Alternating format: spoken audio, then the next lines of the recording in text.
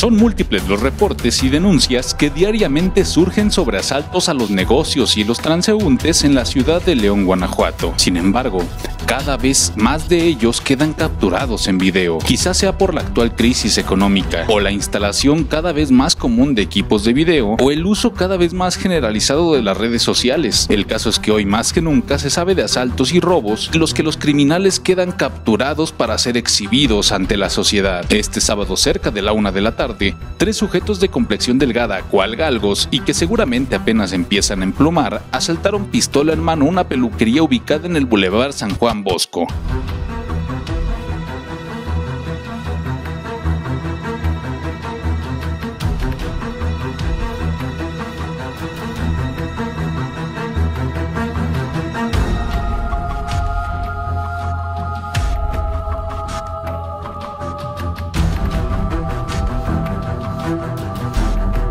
Y el pasado 29 de abril, dos sujetos encapuchados entraron a una tienda en la colonia Unidad Obrera y también a punta de pistola se llevaron cuanto pudieron la noche de ese miércoles. Estos hechos evidencian la falta de presencia policíaca en la que es, hoy en día, la ciudad más poblada de Guanajuato. Para el sistema de noticias de TV Libertad con imágenes de Alan Basurto, Héctor Almaguer.